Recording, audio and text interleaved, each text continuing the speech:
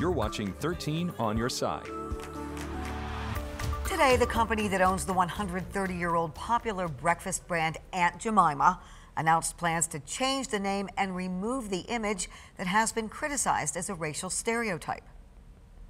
13 on your side, Sarah Makuta spoke to a local brand expert today about why these changes are finally happening now. Making national headline today, PepsiCo announced it's changing the name of longtime breakfast brand Aunt Jemima in light of their support and pledge to the Black Lives Matter movement. Now, this is the trend we're seeing happen more and more among brands, while the experts that I spoke to today say this is just the beginning.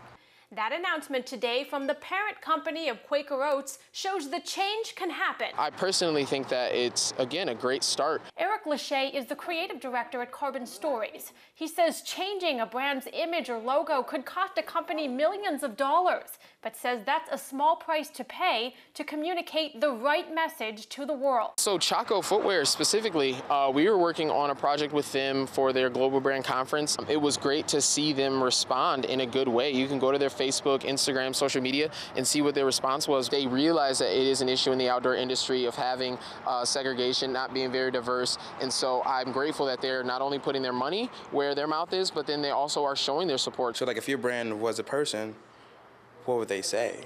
You know, like, you pretty much have to figure out how your brand can actually take those kind of stances. So why now? Brand expert Ginny Seaforth of Seaforth PR says it's just the right thing to do.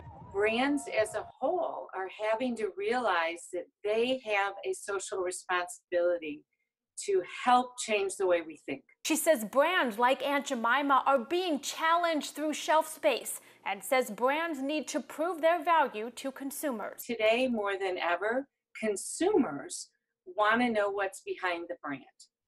And that's a really important issue. Consumers don't want to buy products that where the company is not treating its people well, not treating the environment well, not serving the community well. And and that is just really what it's all about. Sarah Makuta, 13 on your side.